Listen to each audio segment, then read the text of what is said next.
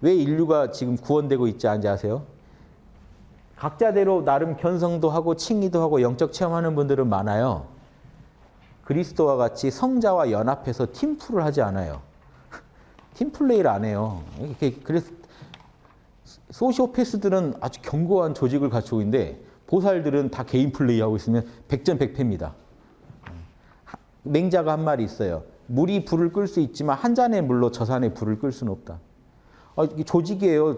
새싸움이고 제가 51%를 강조하는 게 새싸움이고 조직이고 헤게모니 다툼인데 소시오패스들은 욕심으로 견고한 조직을 이루고 있고 막 팀플 잘 이루고 있습니다. 영화 보세요. 이번 이번 마블 영화도 그렇고 악당들은 되게 막 서로 막 충성도도 강하고 조직력도 좋고 무기도 되게 빵빵하죠.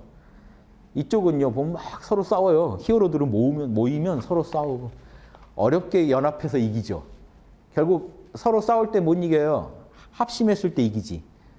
자, 그걸 보여주지 않을까요? 모든 그 이런 히어로물의 영화들이 결국 보살도의 원리가 나옵니다. 그 영화만 봐도. 지금 의 보살 세상, 양심 세상이 안 오느냐? 보살들은 모이면 또 싸워요. 네 도가 진리냐, 내 도가 더 진리냐, 네 도가 높냐, 내 도가 높냐 싸우다가 근데 저쪽은요 욕심 안에 딱 하나가 된단 말이에요. 끝나고 입금해 줄게. 그러면 딱 모여요.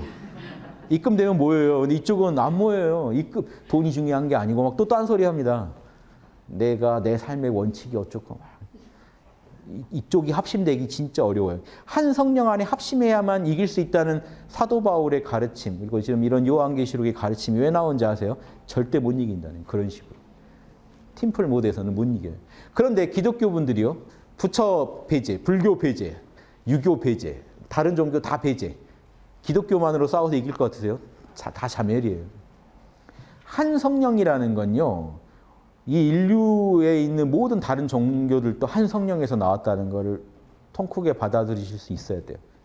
그래야 전 세계 보살들과 연합해가지고 소시오패스들의 무리를 구축해낼 수, 몰아낼 수 있는 겁니다. 이런 작업을 아무도 안 하잖아요. 그러니까 안 되는 거예요. 요한계시록은 그게 된다라고 예언한 거니까 희망은 가지시는 건 좋은데 어떻게 해야 되는지도 써 있거든요. 이대로 안 하면 안 돼요. 그냥 하나님이 막 봉인 떼고 막 나팔 불고 해가지고 해주실 거다 이렇게 기대하시면 안 돼요.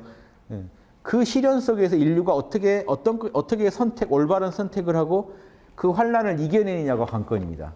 하늘이 시련은 주시겠지만 이겨내는 힘도 분명히 주셨거든요. 근데 그 힘을 제대로 써가지고 이겨내는 그 무리 그리스도와 연합하듯이 성인들과 연합, 성인과 불보살과 연합해서 딱 팀플, 팀플레이를 제대로 해낼 수 있을 때 그 욕심 세력을 밀어낼 수 있어요. 제가 늘 이런 경리 읽고 보살도 그 가르침을 볼 때 안타까운 게 인류의 일, 그 거긴 되게 희망적인 얘기가 써 있죠 경에는. 그런데 벌써 벌써 보세요 경.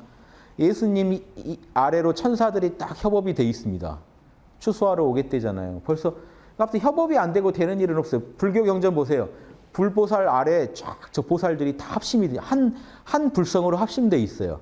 그러니까 경이나 이런 소설에서는요, 그런 게 그렇게 돼야만 된다고 인류가 알고 이, 있다는 거를 다 보여줘요. 그런데 현장에서 그게 되냐는 거죠. 현실에서.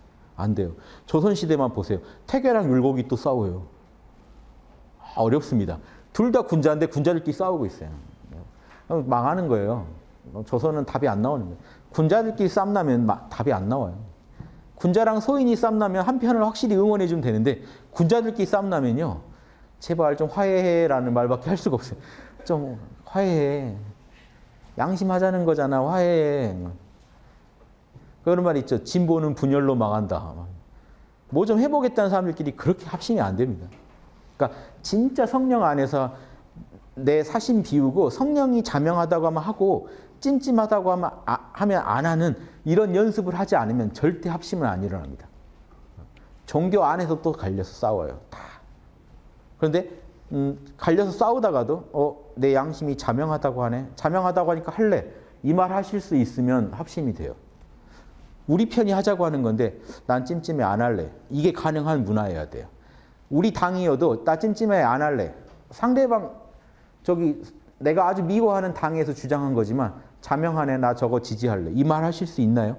그런 문화가 지금 종교개건 정치개건 어디도 안 돼 있어요. 그게 성령의 뜻대로만 산다는 게 그거예요. 그게 가능해야 돼요. 불교 얘기지만 자명하면 맞다고 할 줄 알아야 돼요. 기독교 얘기지만 이건 찜찜하니까 아니라고 할 줄 알아야 돼요. 그러면 하나를 합심해 버려요. 제 얘기대로만 하시면 무조건 정교를 초월해서 합심이 됩니다.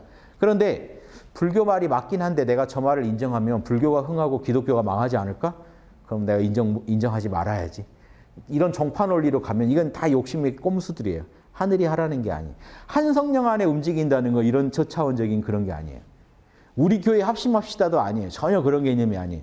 인간적인 거 부인해 버리고 성령이 자명하다면 하고 찜찜하다면 하지 않으면 인류는 한, 한 사람처럼 움직일 수가 있습니다. 한 양심 안에서. 요거 이뤄내야 된다는 게 요한계시록이나 모든 그 경전들의 핵심 내용이에요. 그래서 여기 이제 성경에서는 구심점을 예수님으로 제시하고 있는 거예요. 불교에서는 구심점으로 아미타불이나 각종 부처님들을 내세우고 있는 거고요. 또 그 취지를 잘 이해하시면 좋겠어요. 또 싸우지 마시고요. 또 아미타불이냐 그리스도냐 누가 더 잘생겼냐 누가 더 뭐 영빨이 누가 세냐 이런 거 가지고 싸우지 마시고 본질을 아시고 진짜 성령 안에서 하나가 될 연구를 하셔야 돼요.